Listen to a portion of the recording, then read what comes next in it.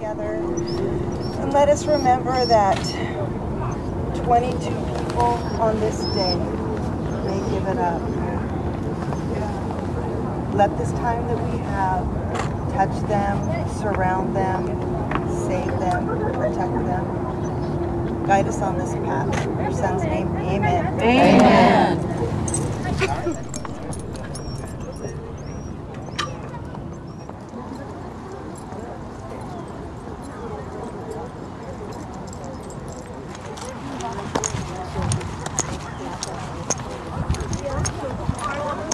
2.2 walk. We were just talking with a fellow from the vet center and seeing if we couldn't get a leg up on the PTS problem. Right.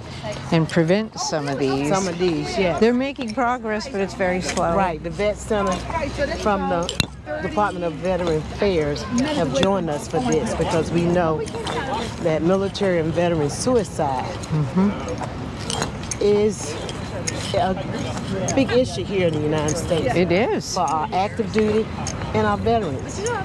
And we want to bring awareness and attention to the public that this is an issue and we all should be concerned. There are things that all of us to do. There are signs out there that you will see. Yes. And if you notice those signs, then you can do something. And we're partnering with Working Dogs for Vets.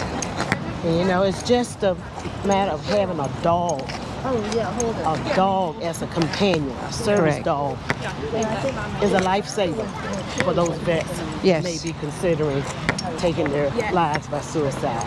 And the vets, the vet centers also offer other things like music classes or yoga, something that distracts their thought process that Yes. helps them heal. Yes, that's exactly right. That's that's what they need.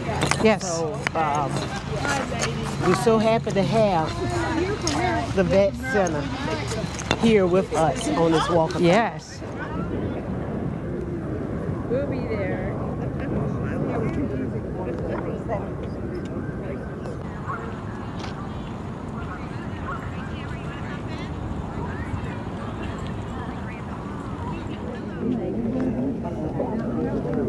I'll tell you. I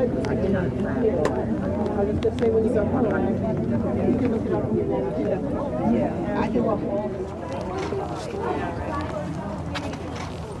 Stop.